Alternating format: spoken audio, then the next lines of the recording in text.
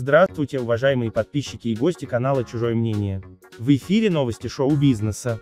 Режиссер Егор Кончаловский в Инстаграм поделился, как танцует его трехлетний сын Тимур. Судя по всему, мальчик растет очень творческой личностью. Ручки вверх.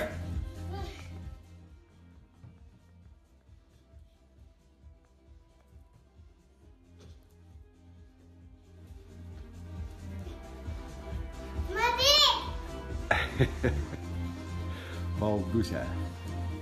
Дорогие друзья, доброе утро. Не до балкона сегодня. Всем хорошего дня.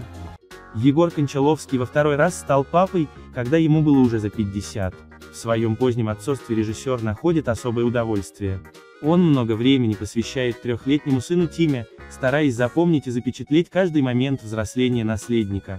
Егор Андреевич периодически делится снимками малыша, чтобы поклонники звездного семейства были в курсе всего происходящего. А что вы думаете по этому поводу? Оставляйте свои мысли в комментариях, оцените видео лайком, не забывайте подписаться и нажать на колокольчик, чтобы не пропустить важные новости. И помните, мы ценим чужое мнение.